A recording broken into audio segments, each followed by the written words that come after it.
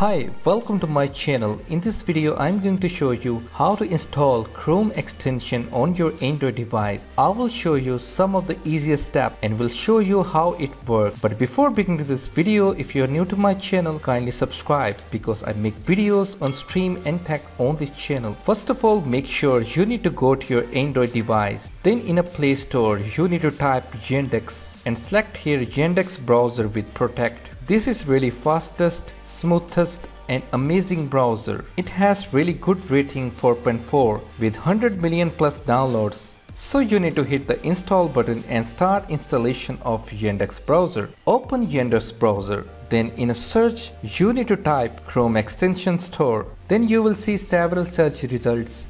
But here you need to go to the link which is at the top. Chrome Web Store extension. Open that link and search any Chrome extension here you want. To make one thing clear to you, all of the extension will not work because many of the extension are only designed for PC and Mac because they are only compatible with PC or Mac but some of the extensions will still work on Android device in this Yandex browser. I'm searching here some ad blocker to avoid pop-ups and ads on my Yandex browser. It shows some of the ad blockers, so I'm trying this one to install.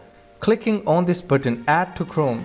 Then it will ask me add extension. I will click on add extension. So now it is downloading this extension. Now this extension has been properly installed and working properly on this Yandex browser. As I already told some of the extensions may not work but you can try your favorite extension to be installed on this Yandex browser. This is really great browser.